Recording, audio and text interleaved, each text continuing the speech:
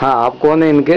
मामा। क्या नाम है आपका? जयदीप कुमार जैन जयदीप जी कहाँ रहते हैं आप? सीहोरा। सिहोरा।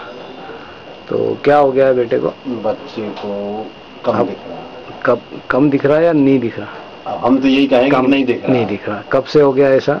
शुरुआत कैसे हुई इसकी? शुरुआत ये हुई कि डिलीवरी के चार महीने बाद हम्म। इसको पीलिया हो गया। ठीक। तो पीलिया होने के बाद इसका ट्रीटमेंट चला। हम्म। पहले सागर में करवाया ट्रीटमेंट इसके बाद इंदौर ले गए। सागर में किसको दिखाया था? सागर में डॉक्टर पी एस ठाकुर को। तो आपको कैसे मालूम पड़ा कि इसको अच्छा बी पीलिया के लिए दिखाया था? आँखें दिख रही थी उसकी और फिर? आ रहा था। तो पी एस ठाकुर को दिखाया। और उसके बाद राकेश दुबे राजेश दुबे को दिखाया तो सागर। पीलिया कहाँ इंदौर में ठीक हुआ? फिर पीलिया हाँ इंदौर में ठीक हुआ। उसके बाद क्या हुआ? उसके बाद कुछ छः सात महीने बाद जब ये थोड़ा मतलब चलने फिरने लगा हाँ। और रोने लगा तो अपन ने कोई खिलौना दिया है कुछ भी दिया तो अपन वो आभास कि इसको दिख नहीं रहा तो ये कुछ पकड़ता नहीं था? हाँ कुछ अपन कुछ खिलौना सामान दो तो ये पकड़ता नहीं हाँ, था बिल्कुल भी पकड़ता नहीं था। सिर्फ़ लाइट जलती थी तो हाँ। ये थोड़ा सा आवाज़ होता था उसकी लाइट जल रही है। अच्छा अच्छा। और उसके बाद में इसको फिर हमें सागर ले गए बाख ले गए बाकरे डॉक्टर साहब के? हाँ, डॉक्टर साहब के पास ले गए तो उन्होंने भेजा दिल्ली का बोला। ने क्या बोला? उन्होंने बोला कि दिल्ली दिखाओ यहाँ ट्रीटमेंट नहीं हो पाएगा वहाँ पे नहीं हो पाएगा। AIIMS hospital. एम्स में। दिखाने फिर एम्स हॉस्पिटल ले गए तो वहाँ एक डॉक्टर से बात हुई उन्होंने देखा। हम्म, तो उन्होंने मना कर दिया कि इसका कुछ नहीं हो सकता इसकी आँखों में रोशनी नहीं है और इसका कभी ज़िंदगी में ये ठीक नहीं हो सकता। कभी ज़िंदगी में ठीक नहीं ठीक नहीं हो ये रियली बिल्कुल शब्द यही थे उनके। अच्छा एम्स में? एम्स में। अच्छा। और उसके बाद फिर हम घर आ गए। घर आए तो वहाँ पे हमारे एक मतलब रिलेशनशिप है।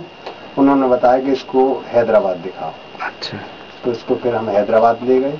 तो वहाँ डॉक्टर नाम तो नहीं है पता कौन सा? हाँ जो भी डॉक्टर हाँ डॉक्टर बाकी में तो दिल्ली दिल, दिल्ली के अलावा सीधे सीधे आप हैदराबाद गए हाँ सीधे हैदराबाद गए। L L B Prasad. L B Prasad हाँ। हाँ।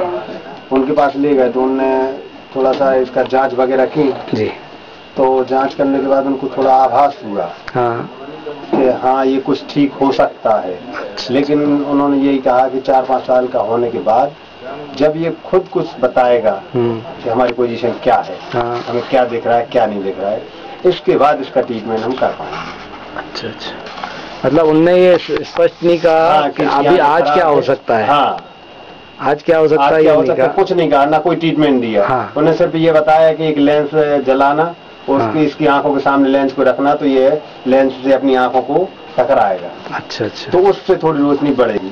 लेकिन अब मैं उसका भी ट्राई किया प्रैक्टिस किया लेकिन उससे कोई अपन को फ़र्क महसूस नहीं किया हम्म हम्म, उसके बाद चित्रकूट ले गए।